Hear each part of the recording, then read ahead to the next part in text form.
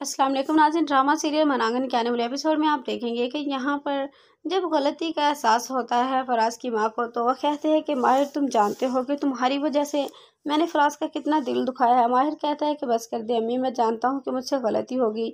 देखिए, मैंने कभी भी ये सब कुछ नहीं सोचा था, जिस पर आप देखेंगे कि फराज की माँ कहती है कि देखो माहिर, तुम्हें फराज से माफ़ी मांगनी होगी, वो बड़ा भाई है तुम्हारा। तुम्हारी वजह मैंने उन लोगों को इतनी बातें सुनाई और महानूर महानूर को तो मैंने पता नहीं क्या कुछ नहीं कह दिया, लेकिन सिर्फ़ और सिर्फ़ तुम्हारी वजह से। गलती मुझसे हुई जो मैं अपनी औलाद को पहचान ही नहीं सकी। नेक्स्ट में आप ये भी देखेंगे। कि यहाँ पर सकलैन चौके कहता है कि देखो फारिया, तुम्हें अब कोई ना कोई फैसला करना होगा। तुम यहाँ पर आखिर कैसे रह सकती हो? देखो, तुम जानती हो कि मुझे ये सब कुछ पसंद नहीं, तुम्हें ये माहौल छोड़ना होगा। दीपा फारिया कहते हैं कि क्या हो गया है? सकलैन, तुम अच्छी तरह से जानते हो कि मुझे इस माहौल की, इस इन्वायरमेंट की आदत है।